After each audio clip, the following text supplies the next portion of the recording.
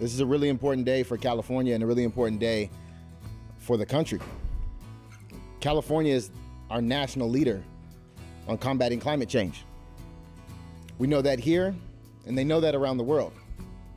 But California is behind in taking our values and enshrining them in constitutional rights for the people of our state. In fact, we are four decades behind some of our peers.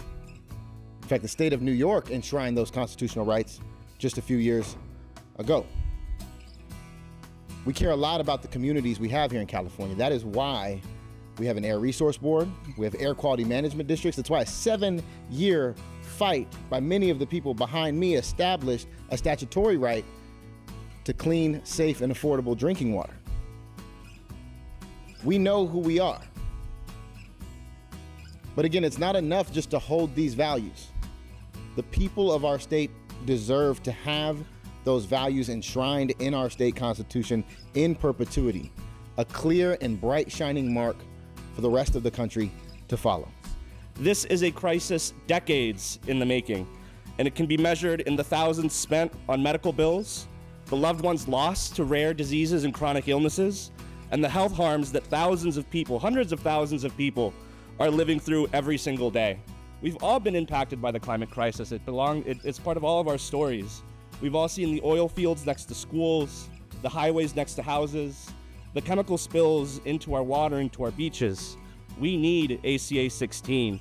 We have every single right to a government that protects the planet and protects us. 40 million Californians do not have a fundamental right to clean air, water, and a healthy environment enshrined in our state constitution.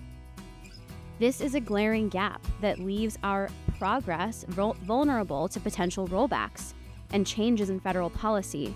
And that is why we are here today standing in strong support of ACA 16, which is seeking to rectify this. Today, I'm lucky to be joined by SCOPE members, including Guadalupe Rivas, who, like many of her neighbors, know too well the health impacts of living near oil drilling sites. Guadalupe and her daughter now deal with chronic issues like asthma, and they've been fighting to end neighborhood oil drilling in their communities for over seven years. But unfortunately, their work is not done. Clean air is a clear cut human right. It's crucial for staying alive, important for good health, and thriving communities. Guadalupe, her neighbors, and many other across the state need stronger protections and bold leadership to ensure they don't have to continue to suffer from toxic air. In California, we beat our chest as climate champions, as leaders.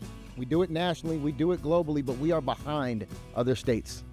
Our people do not have a fundamental right to clean air, clean water, and a healthy environment. But we can change that, and we're going to change that. Thank you all for coming today.